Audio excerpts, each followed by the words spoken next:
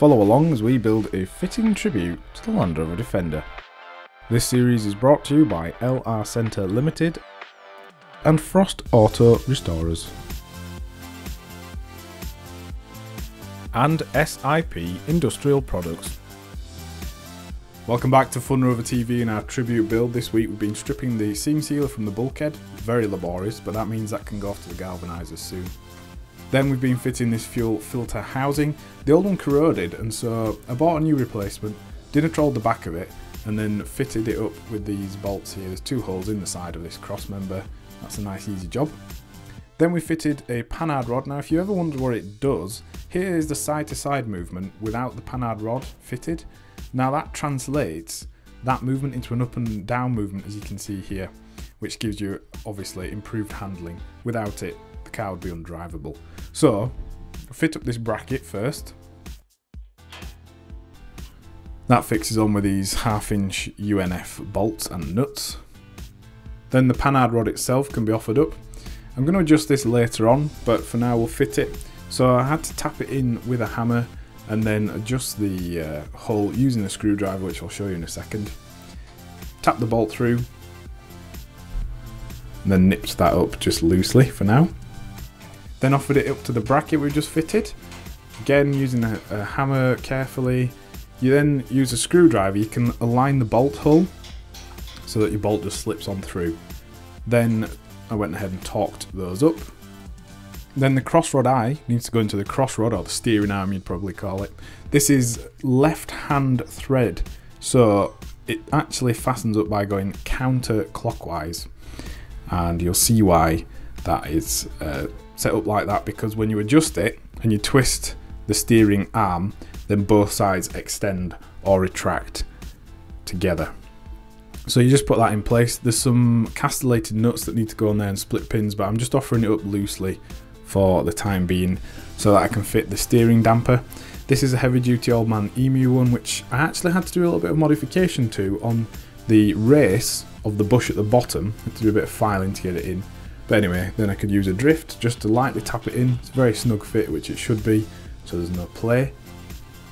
So got that lined up and then added this, which is an M10 bolt.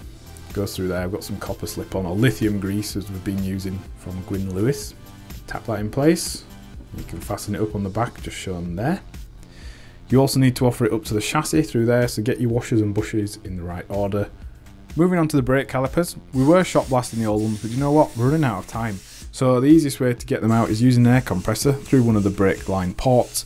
Uh, be careful, they pop out with such tremendous force, they can actually go flying 30, 40 foot sometimes because of the pressure that builds up behind them.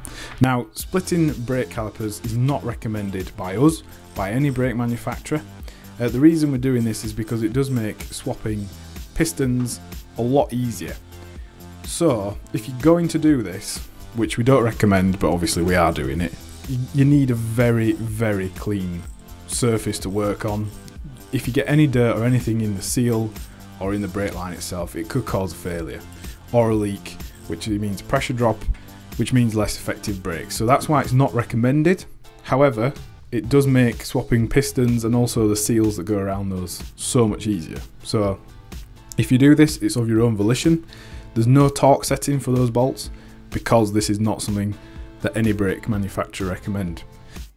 Here are the stainless steel pistons.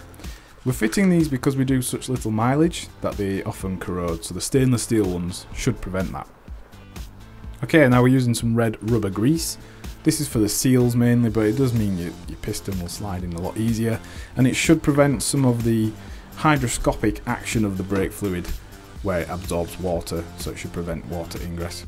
Once you've got it in, you can just press it in with your fingers usually if it's quite loose, or in this case I just did it with the, the vice very lightly. And then you repeat that for all the other pistons. Then following the workshop manual, we'll refit these with the bleed nipple at the top. The bolts that go through here are bihexagonal, so you'll need bihexagonal sockets. We're using a, a Teng half inch socket set, which works really well for this. Now for a blast from the past for me anyway, because I used to work at a spray shop, we're going to paint the wheels. This is one of my most favourite things to do, working on Land Rover's painting. It's great fun. So I've got everything set up on a table on top of some uh, paint cans that are masked off so I can spin the wheels around. And we're keying up the surface. We're abrading it with a Scotch-Brite pad. This is a red Scotch-Brite pad, which I think is equivalent of about 320, 400 grit, which is just about perfect for solid colours, solid paint colours. So I'm keying off the surface, taking off that shine, because anywhere that's shiny will, your paint's very likely to not stick.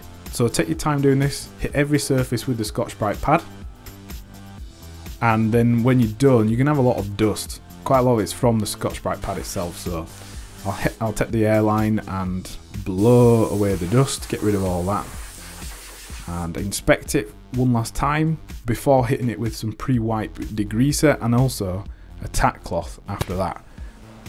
As this is a single pack product, we can just use a carbon filter air mask and gloves.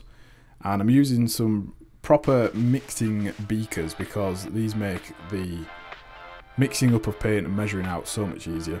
We're recommending to use about 10 to 15% thinners for this paint, but because it's so cold, I've had to just add and uh, do it to suit. So, um, using the xylene thinners there, I'm mixing it all with some proper paint mixing sticks, and these are all very cheap. We found on eBay, they're called tongue depressors as well. Don't get air in your paint, you want to mix it thoroughly but not froth it up. Then decant it into your HVLP gun, although you can use this paint to roll it or brush. Once I'm happy with that, and I did have to add more thinners because it's so cold, even though I've heated the workshop with a space heater, can get on painting. And you can see I'm grabbing my airline so it doesn't drag through my wheel, which is wet paint on. This is just a thin coat first, we'll add a medium wet coat after this coat has flashed off. In between the flashing off of coats, I'm using a space heater to bring up the ambient temperature because paint really should be applied. The lowest temperature is around 5 or 8 degrees for most paints and ideally it'd be at 20 so I've managed to get the workshop up to a 15 which is much better than the cold temperature we would have been working with. This stops it blooming and gives you a good finish. Now as you can see I was able to turn it round using my paint can which is brilliant so without having to move around. I'm releasing the trigger at the end of each pass because that helps keep the pressure in the gun consistent. And as you can see, the colour hasn't come out quite right in the camera, but the paint finish is flawless. There's not a single piece of debris, dirt or trash in those, and I'm going to leave those to cure for a couple of weeks actually before I take them to a wheel fitting place. We hope you've enjoyed this episode of Funrover TV. You can see our last episode here and also check us out on funrover.com. We are at Funrover on Twitter and Instagram, and we're also on Facebook.